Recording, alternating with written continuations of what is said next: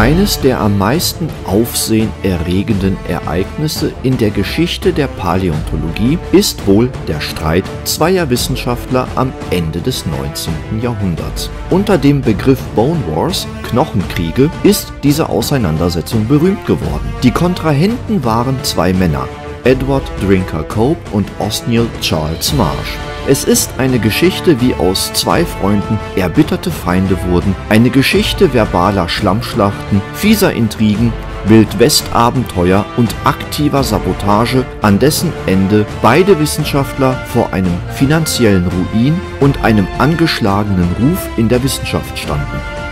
Trotz dieser Tragödie hat wohl kaum ein Kapitel in der Wissenschaftsgeschichte so sehr zur Dinosaurierforschung beigetragen. Zusammen beschrieben Cope und Marsh während ihres Krieges ganze 142 neue Dinosaurierarten, von denen viele auch noch heute gültig sind darunter auch viele der berühmtesten Dinosaurier, die heute noch in jedem Zimmer eines Dino-begeisterten Kindes zu finden sind.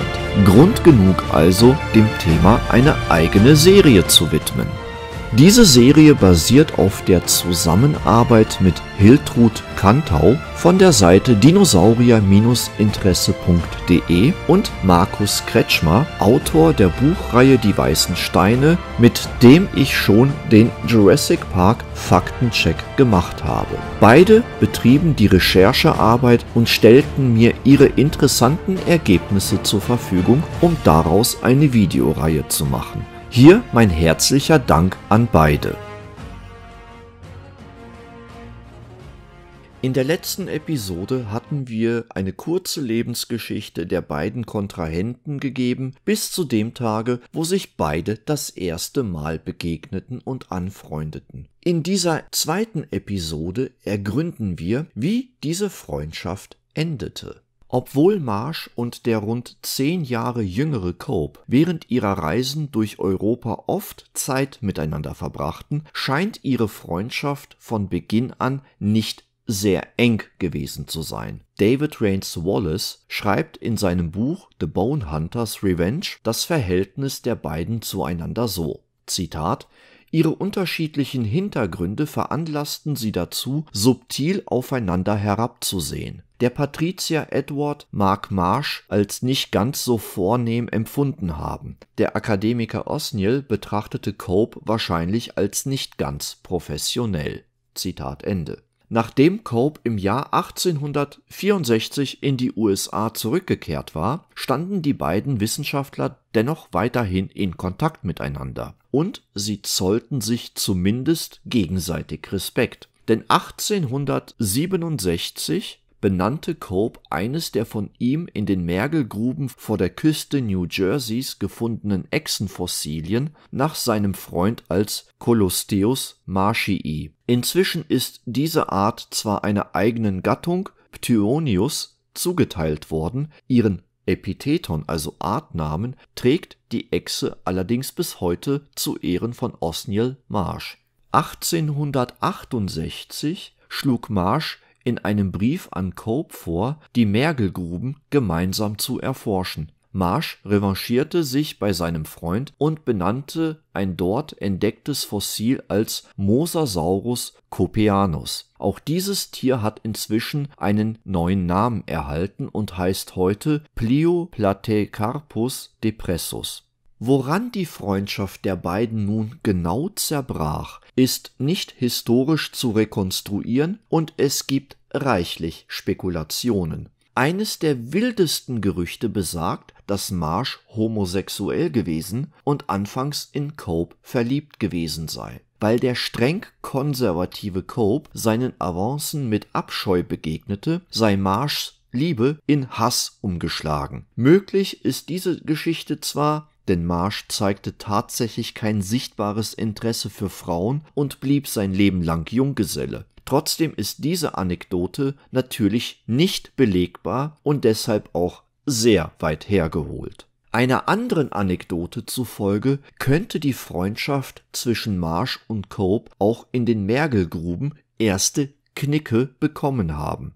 Jedenfalls verschlechterte sich das Verhältnis der beiden von nun an zusehends. Vielleicht wurde sogar die Namenswahl von Marshs Respektsbekundung von Cope als Affront aufgefasst. Schließlich hatte Marsh bei seinem Mosasaurus ja nicht wie üblicherweise den lateinischen Genitiv verwendet, der dann Copei gelautet hätte. Marsh benannte das Tier in der Adjektivform Copeanus, was man, wenn man das Wort auseinanderzieht, auch Cope Anus machen kann. Ob Marsh sich hier aber tatsächlich subtil über seinen Kollegen lustig machen oder ihn gar als Arschloch bezeichnen wollte, lässt sich natürlich nicht mit Sicherheit sagen, zumal adjektivische Namensgebungen zu jener Zeit auch nicht unbedingt unüblich waren. Was allerdings durchaus belegbar ist, sind die späteren Beziehungen zwischen Marsh und den Grubenarbeitern bzw. ihren Vorgesetzten. Während Cope seiner Leidenschaft frönte und ganz darin versunken war, nach Fossilien zu suchen, schloss Marsh mit den Männern ein geheimes Geschäft ab. Er traf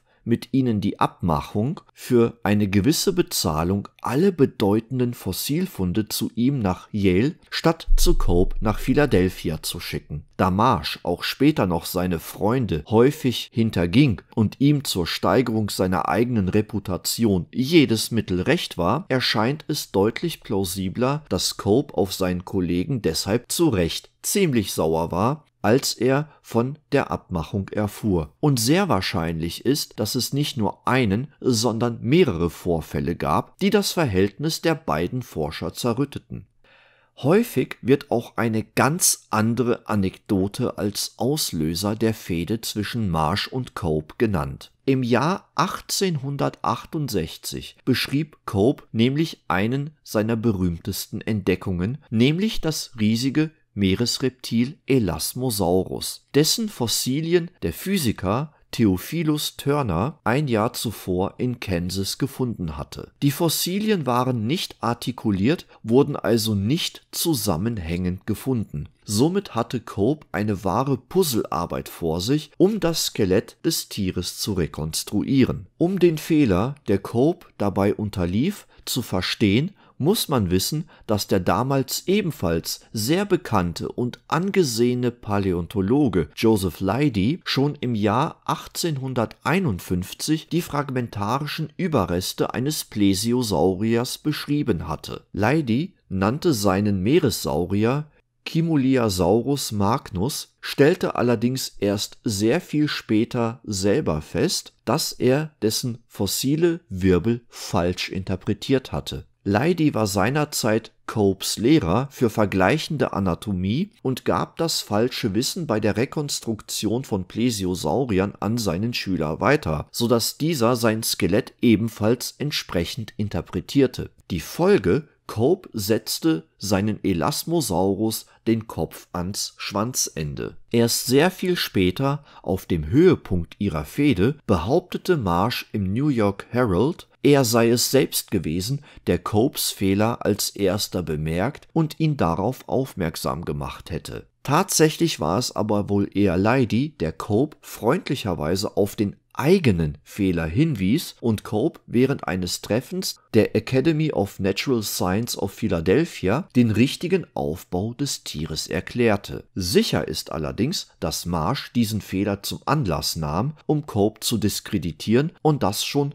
1870 Spätestens jetzt war das freundschaftliche Verhältnis komplett zerrüttet und aus Freunden erbitterte Rivalen geworden. Cope versuchte tief getroffen über seinen Fehler mit dem Elasmosaurus diesen zu vertuschen. Sämtliche Veröffentlichungen mit der fehlerhaften Illustration wollte er auf seine Kosten zurückkaufen, was ihm natürlich nach so langer Zeit nicht mehr gelang zumal Marsh alles daran setzte, dass die ganze Welt von diesem Fehler seines ehemaligen Freundes erfuhr. Da es also nicht mehr möglich war, den gemachten Fehler ungeschehen zu machen oder ihn geheim zu halten, sah sich Cope schließlich dazu gezwungen, in der wissenschaftlichen Zeitschrift Transactions of the American Philosophical Society eine Erklärung abzugeben, wie es zu dem Fehler kommen konnte. Im Jahre 1872 wurde Cope in die National Academy of Science gewählt. Zwei Jahre später, als Marsh von Grabungen in den Black Hills zurückkehrte, wurde auch er als angesehener und einflussreicher Wissenschaftler in die renommierte Gesellschaft aufgenommen, mit nur einer Gegenstimme. Marsh ahnte, wem er diese Stimme zu verdanken hatte. Schon im Jahr zuvor war die Fehde zwischen den beiden Kontrahenten immer deutlicher zutage getreten. So griffen sie sich in wissenschaftlichen Artikeln der Zeitschrift The American Naturalist gegenseitig an und zählten jeden kleinen Fehler auf, der dem anderen ihrer Meinung nach unterlaufen war. Eine der bekanntesten Episoden dieser Fehde ist der Streit um die Namensgebung eines großen prähistorischen Säugetiers, der mit einer Reihe von Hörnern und nach unten gebogenen Hauern. Denn auch vorzeitliche Säugetiere und nicht nur Dinosaurier gehörten in dieser Zeit zu den prestigeträchtigsten Fossilien. Bereits heftig Zerstritten suchen Marsh und Cope beide im Jahr 1872 in den Uinta-Bergen, einem Gebirgsabschnitt der Rocky Mountains im heutigen US-Bundesstaat Wyoming, nach Fossilien auch Copes ehemaligen Mentor Joseph Leidy zog es in diese Gegend. Jeder der drei Paläontologen hatte offenbar ein eigenes Gebiet abgesteckt, in dem die Grabungsteams der Forscher dann nach Fossilien suchten. Die Grenzen dieser Gebiete wurden von den jeweils anderen beiden Paläontologen respektiert am 19. August 1872 telegrafierte Marsh die Nachricht vom Fund eines großen prähistorischen Säugetiers, das er Tinoceras nannte, in den Osten. Am 27. September benannte Marsh nochmals neu gefundene Fossilien, allerdings als Dinoceras diese stammten aber, wie sich später rausstellte, wiederum von der gleichen Tierart. Und was weder Marsh noch die Leser der Wissenschaftsmagazine wussten, sowohl Cope als auch Leidy hatten schon zuvor die gleiche Tierart entdeckt und die Nachricht darüber ebenfalls bereits telegrafiert. Jeder der drei Paläontologen gab seinem Tier einen anderen Namen. Leidy gab seinem Fossil am 1. August den Namen Uintatherium. Cope genau wie Marsh am 19. August jedoch den Namen Loxolophodon. Allerdings verursachte die Telegrafie einen Übersetzungsfehler, so dass der Fund Copes zunächst als Lephalophodon bekannt wurde. Dies konnte Cope erst drei Tage später richtigstellen. Zudem scheint aber auch der Name Loxolophodon Eingang in diverse Schriften gefunden zu haben. Marsh beharrte jedoch darauf, dass er als erster sein Telegramm abgeschickt und damit das Vorrecht zur Namenswahl und sein Tino bzw. Dinoceras die alleinige Gültigkeit hatte Dabei berief sich Marsh auf eine Regel in der zoologischen Taxonomie aus dem International Code of Zoological Nomenclature, der auch damals schon Gültigkeit hatte. Wer als erster einen Bericht über eine Neuentdeckung veröffentlicht,